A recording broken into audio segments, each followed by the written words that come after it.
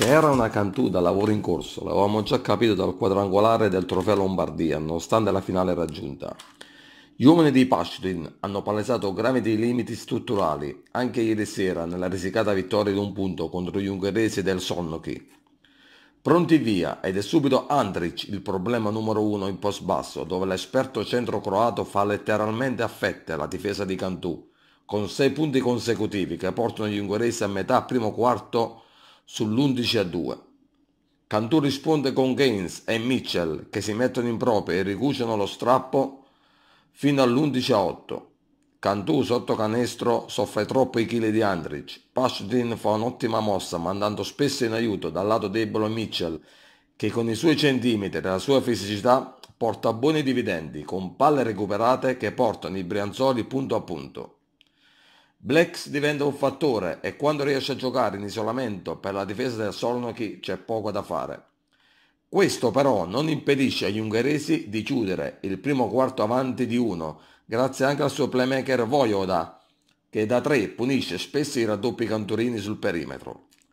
Il secondo e il terzo quarto vede le due formazioni sempre punto a punto, ovviamente con temi tattici molto differenti tra le due antagoniste. Il Sonnoki è sempre alla ricerca di Andrich dentro l'area per poi far scaturire tutta una serie di penetre scariche dal perimetro, dove Cantù lascia spesso tiri aperti.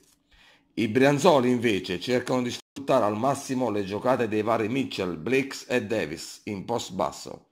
Ed è proprio quest'ultimo, autore di un buon terzo periodo, a lanciare il mini break che porta i bianco-blu sul 53 a 45 di fine terzo quarto. Nel quarto periodo Cantù per la prima volta sembra avere in mano l'inerzia della gara, ma tre palle perse consecutive fanno ritornare gli ungheresi in partita nel loro peggior momento, quando sembravano sull'oro del KO. E come se non bastasse ci si aggiunge un ottimo Milosevic che spesso in, in agilità batte i lunghi di Cantù. Il serbo infila otto punti consecutivi, facendo calare il buio sul Paladesio. Candù, che sembrava avviata verso il break decisivo, si trova invece sotto 63 a 60 a 3 minuti dalla fine.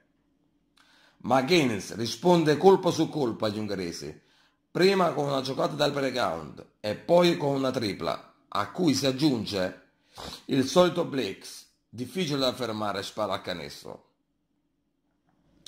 Ma Void e Andrich da sotto riportano Sonoki a 10 secondi dalla fine a giocarsi la vittoria con palla in mano.